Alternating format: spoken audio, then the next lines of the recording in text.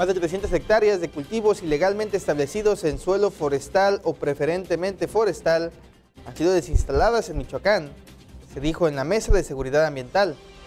Sin embargo, las actividades para reemplazar de forma ilícita el bosque por sistemas productivos continúan, por lo que los operativos de retiro de huertas ilegales, prioritariamente de aguacate y frutillas, serán reanudados en breve tras una pausa para favorecer el acercamiento de los productores con las autoridades ambientales para resarcir los daños causados a los ecosistemas.